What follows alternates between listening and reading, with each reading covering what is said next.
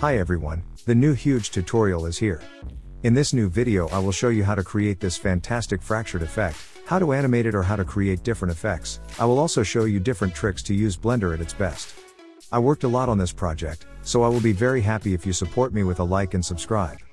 Let's get started.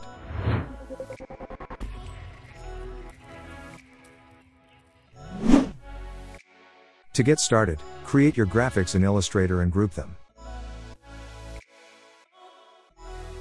The next step is to use the inflate effect. Find this feature in 3D and materials. You can find 3D and materials within the effects section. Select the inflate effect. Click on the inflate both sides checkbox and set depth to 0. Now export your graphics. Select it and go to Asset Export. Set the OBJ format and click on Export. To import your graphic in Blender, you need to go to File, then select Import, Wavefront. Find the folder in which you exported the graphic from Illustrator, and select the OBJ file. If your graphic seems gigantic, like mine, you need to press S key and scale your graphic moving your mouse.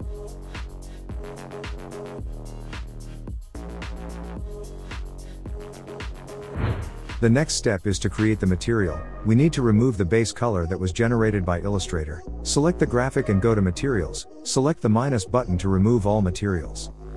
Create new material and name it crystal. Then open the shader editor.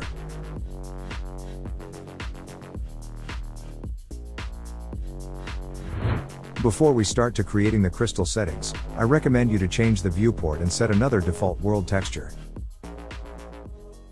Delete the default material, and with Shift plus A, search the glass BSDF.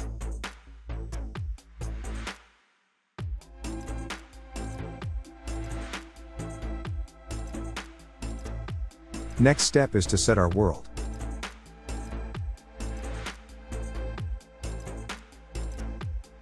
With Shift plus A, add an environment texture. For this tutorial you can use my free texture, link in bio.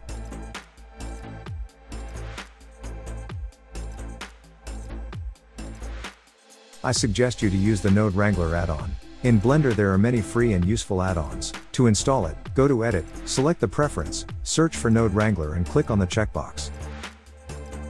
One useful thing of this add-on is that you can easily use the Control or Command plus T to add a mapping node and a texture coordinate node. At this point, you can create your own settings or use mine. On the environment texture node, I set the mirror ball. For mapping node, I use these settings here.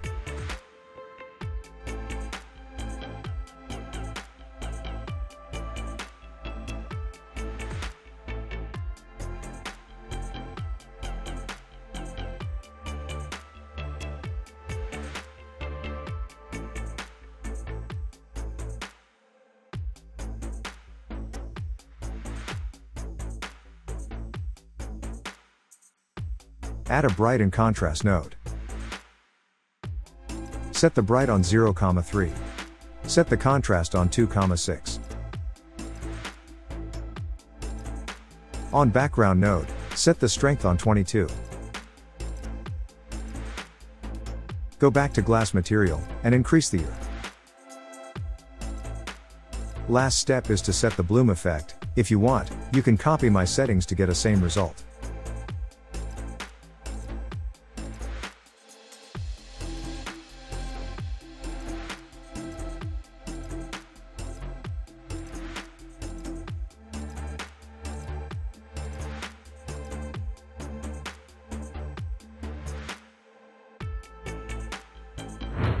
In this part of this tutorial, I will show you how to fracture your graphics. We need to activate Add Add-on, so go to Edit, select Preference, and search the Cell Fracture add-on. You didn't need to download anything because Blender have a lot of pre-installed add-ons. Click on the checkbox and close Preference tab.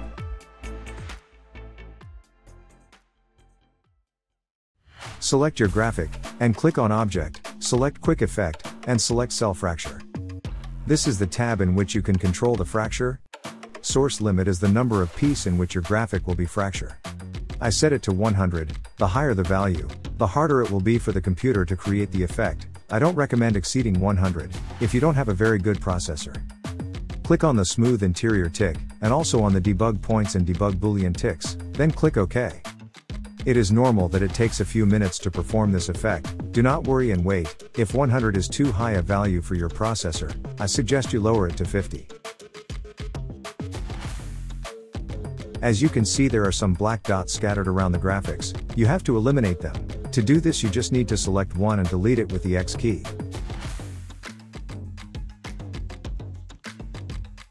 Second thing to do is to hide the original graphics, usually you will always find it in the first place of the list, you have to click both on the eye and on the camera, so it will not be visible in the final render. There are two different ways to work with this effect, the first is great for making an animation like the one at the beginning of the video. The second method, instead, is used to move the pieces manually, but it is not good for animation, because it generates an uncontrolled explosion.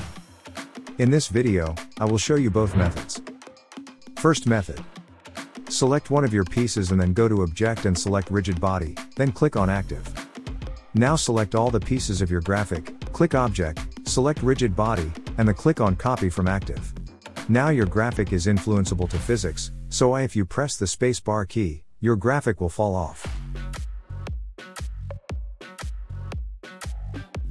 Go to Scene Properties and uncheck the Gravities box. With Shift plus A, add a force field, with this you can create a different type of explosions. Go to Force Field Properties and set the strength to 100, then press the space bar key to start the animation. As you see, the pieces of your graphics are moving away from the force field. To set the strength to create an explosion, we need to increase the strength and create a keyframe animation. To do this, set the force to zero and click on the keyframe next to it to activate it. Move 10 frames forward and set the keyframe to zero again. Now move a few frames like to frame 15 and set a very high strength. Initially I put 10,000, don't forget to activate the keyframe. Last thing before seeing the result, we have to change the radius of action of the explosion. To do this go to the fall off section and activate min and max distance. Create a small range, my settings are min distance 0.4, max distance 0.18. Now we can see our result. As you can see it is a different result from the previous one. But it is not yet a good result, in this case we just need to enhance the strength of the force field. You can add a zero to the strength until you find a good result, I have set a strength of 1 million. Every time you change values, you always have to set the keyframe again. Now the power is excellent, but you have to increase the range, in this way the explosion will seem even stronger.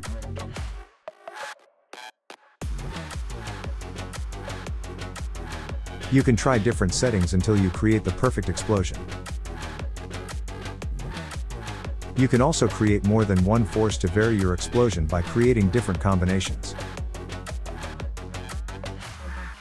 And you can also modify the keyframes, to make one force activate earlier than the other, to do so you just need to move the keyframes. If you don't want the pieces to float in infinity you will have to activate gravity, but even in this case you can choose when and with what power always using the keyframes. At this point in my animation, I want all the pieces to start falling down. So make sure you have gravity ticked, set Z gravity to 0 and activate a keyframe. Then move a few frames and set Z gravity to minus 9.8. In this way, starting the animation, from frame 40, gravity will activate, and the pieces will begin to fall. If you are trying to create an animation longer than 250 frames, you will notice that at some point the simulation freezes. To solve this problem you have to go to Scene Properties, select Cache, here you can change the duration of the simulation.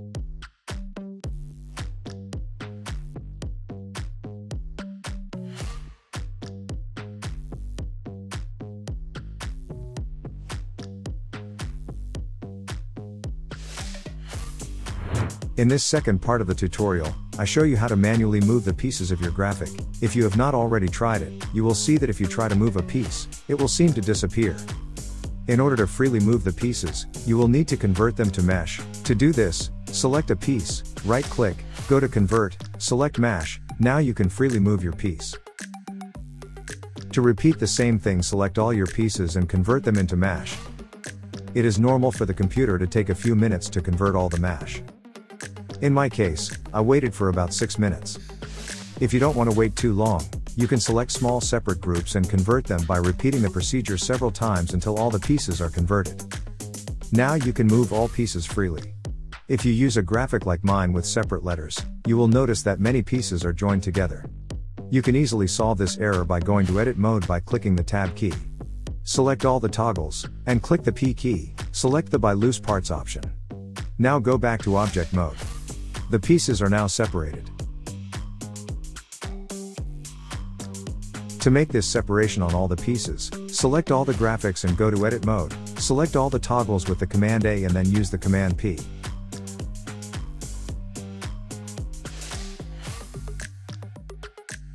The last step to improve your graphics is to set the origins. Select all pieces of artwork, right click, select set origin, then origin to geometry. Now you can finally move the pieces of your graphic as you want.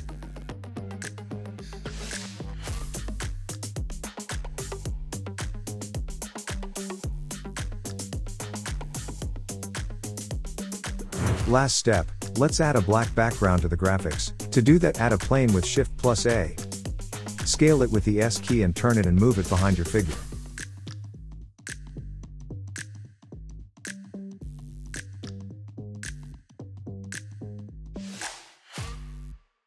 Now let's create a material, which does not reflect the environment texture.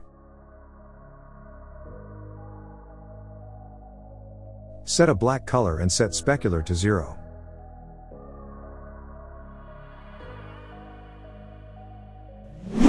To create animation or export your graphic, add a camera to the scene. Move it away from the artwork. Divide the screen in two. Go to View, select Camera and set Active Camera. I show you an extremely useful trick to have the camera always focus on your graphics. Add an empty object, I added a cube, so it is clearly visible. Select the camera, Go to Object Constraint Properties and select Track To. With the dropper select the empty cube. Now the camera will always follow the empty cube. This is useful because empty objects are invisible in renderings and are very useful in 3D graphics. Now I'll show you another cool trick. I want my camera to rotate around my graphics. To do this, I add an empty circle, Scale it and position it in such a way as to bring it closer to the camera.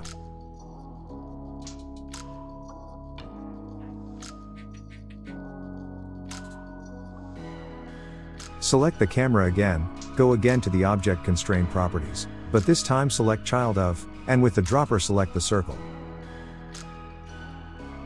This way, the camera is attached to the circle and will make every movement the circle makes.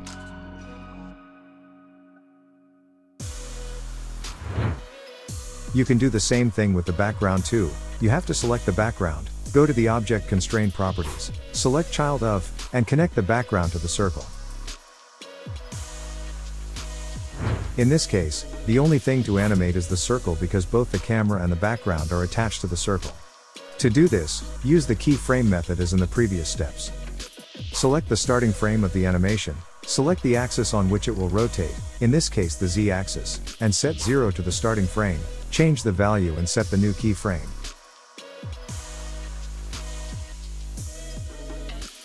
To export your image, you just need to set your settings here and if you want to export a precise image, here you can set which frame you want to export. If you want to export your animation, use the PNG format and remember to always select the destination folder.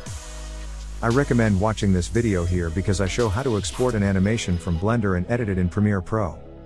This video has come to an end. Thanks for following me up to here. It was very challenging to make this project and I hope you will support this video with a like and subscribe, to motivate the creation of even more crazy tutorials.